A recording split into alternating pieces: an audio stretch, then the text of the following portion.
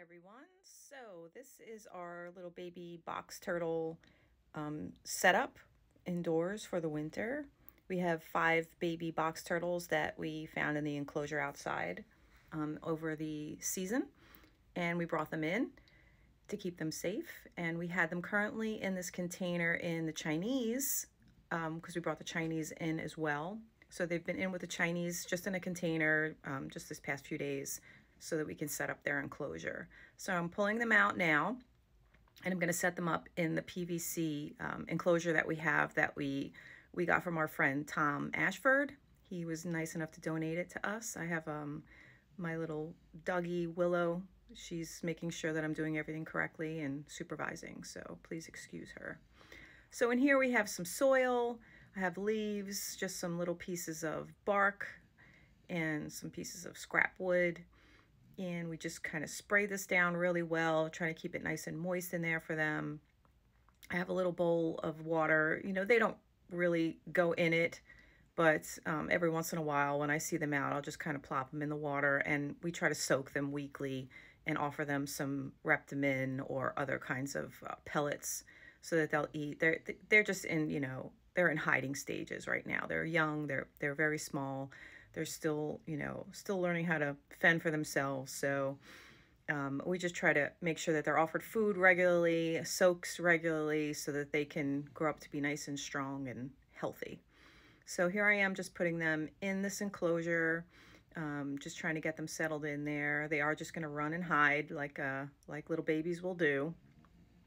And uh, we're just going to keep them in here for the winter. You can see they have a little passway in the middle um, this enclosure is, we've used these enclosures for snakes before. You can have two separate enclosures or we just kind of, there was a crack in it so we just cut it open so they can have a dark side on one side and then they can have a, a side with light on the other side. And that's where um, I'll feed them and soak them, etc.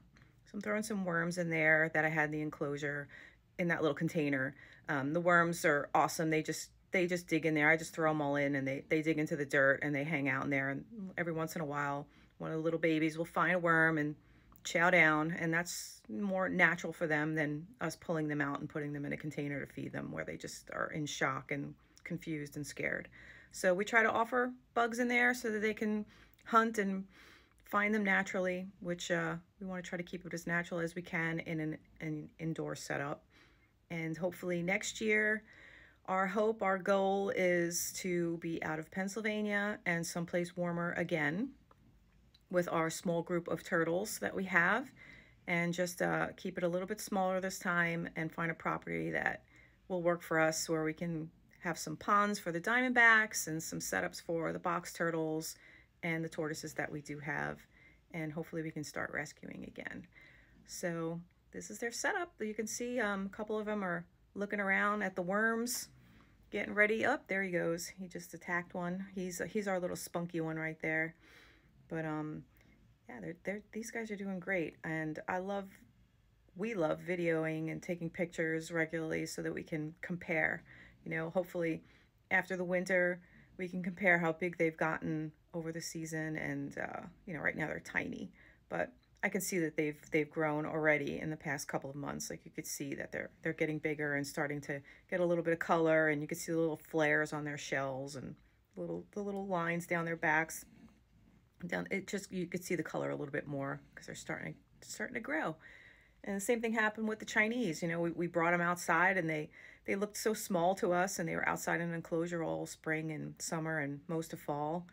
And we bring them in, and they they just look humongous to us and we have them in um, a tank, you know, just big, big glass tank that we have the diamondbacks in over the, you know, the baby diamondbacks in over the winter.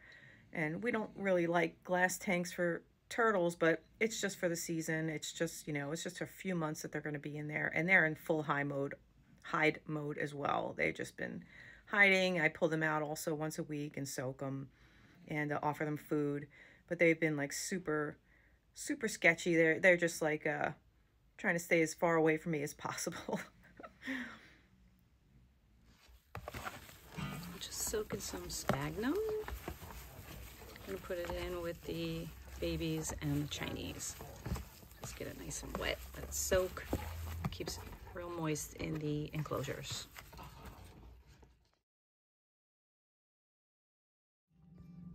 Just loaded these guys up with some sphagnum. Nice and wet, moist, moist. We don't like that word. Got these guys soaking in here. All they've been doing is hiding. So hopefully they'll get out of this little shy stage that they're in and uh, realize that I'm feeding them and taking care of them. Right, little babies? This guy's the spunkiest. You're the spunkiest, right? The littlest one. But yeah, this is perfect for these little guys.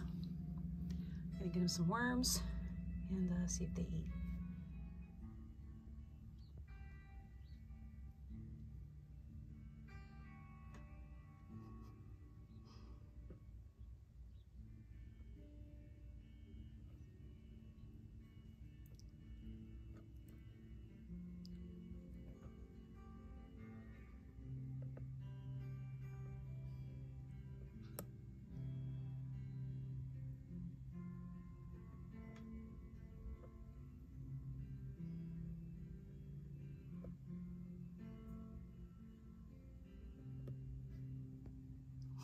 Let me break them.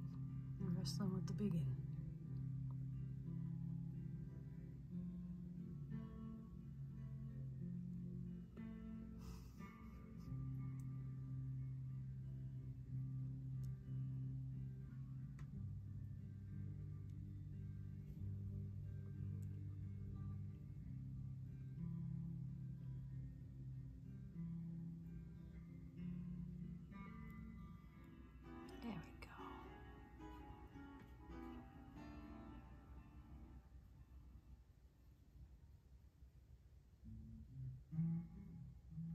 we go.